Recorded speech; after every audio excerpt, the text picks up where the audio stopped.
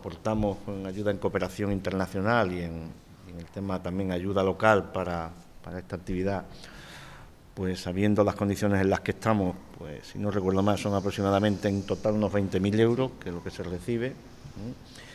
Pero lo importante yo creo que son los dos meses que ellos van a pasar aquí con, con su familia, que al final se hacen su familia. Tengo que decir que este año tenemos prevista colaborar con ustedes en una visita a los bomberos, al parque de bomberos. Así se van a disfrutar tirándose en los camiones, ese tipo de cosas, que yo creo que es bueno.